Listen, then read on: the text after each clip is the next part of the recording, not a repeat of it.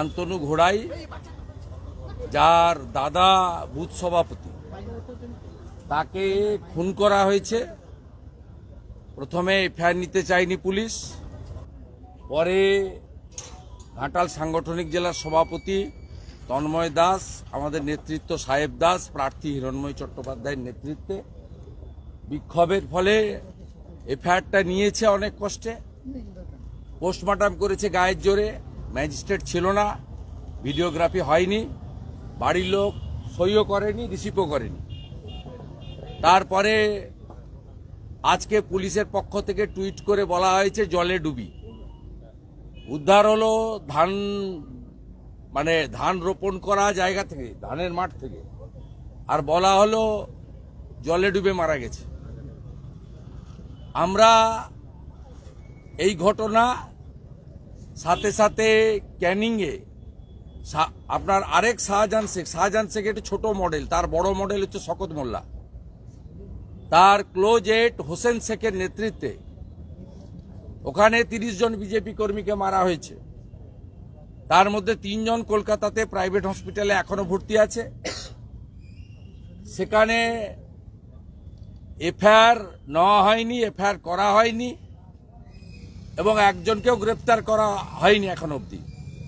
তৃতীয়ত, গতকাল রাত্রে নদিয়া জেলার শান্তিপুর এলাকাতে তৃণমূল কংগ্রেসের নেতা, তার পুত্র, একজন নাবালিকা, ছোট্ট মেয়ের মতো, বোনের মতো, তাকে ধর্ষণ করেছে এবং ওই ছোট্ট শিশুকন্যা বা বোনের, তার বাড়ির লোক ভারতীয় জনতা পার্টির বুথের সভাপতি।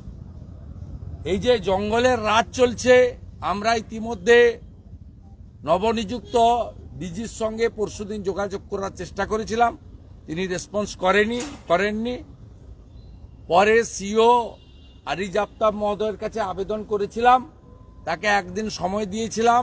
বলেছিলাম, আপনি ভিজিট টিম পাঠান।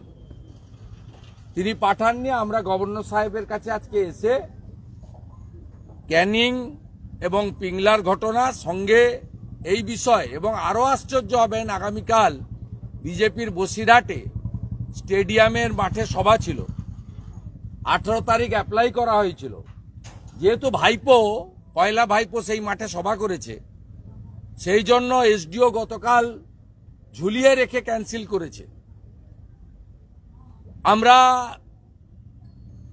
গভর্নর সাহেবকে বলেছি যে পুরো অ্যাডমিনিস্ট্রেশন এসডিও বসিরহাট নর্থের ডিএম এরা শুধু নয়, গোটা রাজ্যে।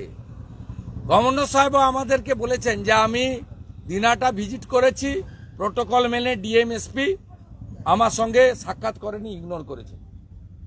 আমরা গভর্নর সাহেবকে বলেছি যে আপনি তৃণমূলের ডেলিগেশন এখানে এসছিল। একটা দুর্ঘটনায় কয়েকজন বাচ্চা মারা গেছিল, দুঃখজনক।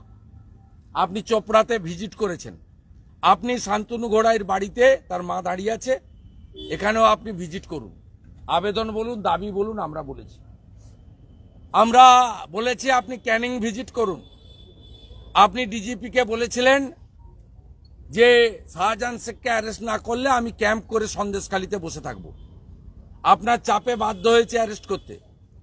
আপনি যে টিমে এসেছিলেন দু হাজার একুশ সালে, ভোটের পরে হাইকোর্টের নির্দেশে ফাইভ মেন জাজের সেখানে এনএইচআরসির টিম হাইকোর্টকে উনিশ জন গুন্ডার নাম বলেছিল।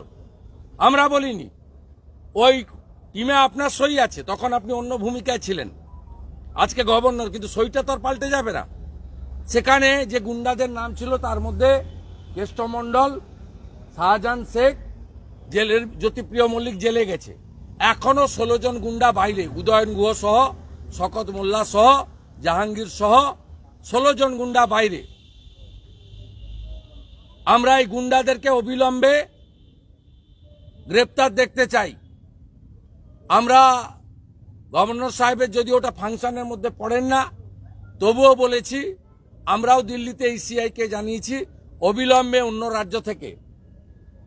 স্পেশাল অবজারভার এবং পুলিশ অবজারভার অবিলম্বে স্টেট হেডকোয়ার্টারে নিরপেক্ষ জায়গায় বসান।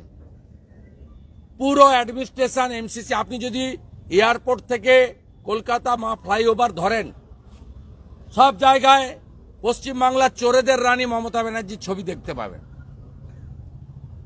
মিউনিসিপাল রিক্রুটমেন্ট স্ক্যামে যার বাড়ি রেড হয়েছে, সে সুজিত বসুর ছবি দেখতে পাবেন। প্রার্থী কাকলি ঘোষ দস্তিদারের ছবি দেখতে পাবেন। গোটা পশ্চিমবঙ্গ থেকে নরেন্দ্র মোদীজি সহ বিজেপির সমস্ত লোকের ছবি পাবেন না, কোথাও একটাও পাবেন না। কিন্তু আপনি পশ্চিমবঙ্গে কয়েক হাজার জায়গায় এই রাজ্যের টেন্টেড চিফ মিনিস্টার অত্যাচারিণী মমতা বন্দ্যোপাধ্যায়, চিরিচুরি দুর্নীতিতে যিনি মাস্টার ডিগ্রি পেয়েছেন, তার ছবি সর্বত্র পাবেন। তার ছবিতে হাত দেওয়ার ক্ষমতা কারণেই আপনি পৈলান থেকে যদি ডায়মন্ড হারবার যান আপনি ভাইপোর ছবি দেখতে পাবেন, সেখানে ভিডিওতে সাহস নেই, সেখানে ছবিগুলোতে গিয়ে হাত দেয়। তাই এমসিসিটা কি গোটা ভারতবর্ষে সব জায়গায় একরকম, পশ্চিমবঙ্গে একরকম? আমরা যা করার করছি, গভর্নর সাহেব কথা দিয়েছেন, এই ফ্যা- ফ্যামিলিতে তিনি ভিজিট করবেন। ক্যানিং এর ব্যাপারে অ্যাসিওর করেননি, তথ্য নিচ্ছেন। কিন্তু শান্তনু ঘোড়াইয়ের বাড়িতে তিনি ভিজিট করবেন, তার বাচ্চার ভবিষ্যতের পড়াশোনার দায়িত্ব তিনি নেবেন বলেছেন। এমসিসি উঠে গেলে তিনি এসব বিষয় দেখবেন। কিন্তু তিনি অতি সত্তর ভিজিট করবেন, আমরা বলেছি, আপনি তৃণমূলের ডেলিগেশনের দাবিতে আপনি যদি ভিজিট করতে পারেন চোপড়া, আপনাকে পিংলাও যেতে হবে। শান্তনু ঘোড়াই ফ্যামিলিকে বিজেপি করার অপরাধে খুন করেছে, আপনার পাশে দাঁড়াতে হবে। গভর্নর সাহেবকে আমরা ধন্যবাদ দিয়েছি যে দিনহাটা আপনি গেছেন। আপনি কনস্টিটিউশনকে প্রোটেকশন করার জন্য মানুষকে বাঁচানোর চেষ্টা করছেন, এই জন্য আপনাকে আমরা ধন্যবাদ দিয়েছি।